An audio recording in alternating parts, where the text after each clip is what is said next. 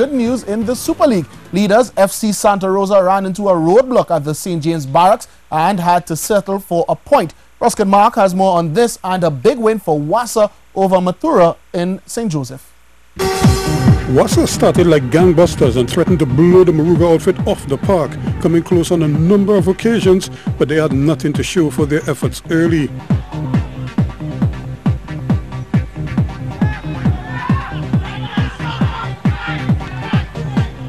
But the crossboard proved to be the Achilles heel of the visitors and on 24 minutes they were exposed once again and Glenn Walker made them pay, 1 to nothing, WASA.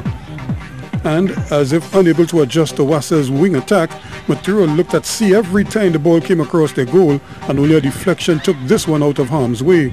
But WASA would persist by raining crosses into the box and this time they got lucky when an unfortunate bounce off the knee of defender Kern Joseph ended up in his own net for 2 to nothing in the 41st and WASA would make it three before the interval when this shot was tugged wide, but there was an alert Walker to tidy up with his second of the afternoon, and WASA went to the break 3-0 up.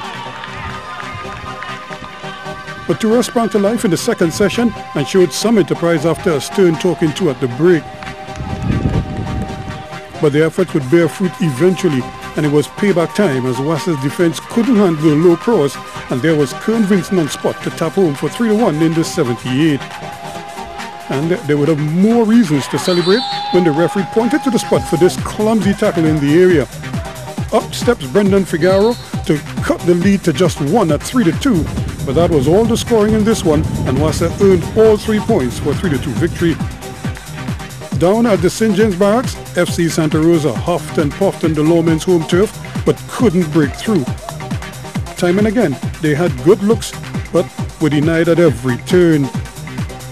The lawmen also had their moments, but they too couldn't hit pay dirt as the radar was slightly off at both ends and this one ended goalless between Santa Rosa and police. Ruskin Mark, C Sports.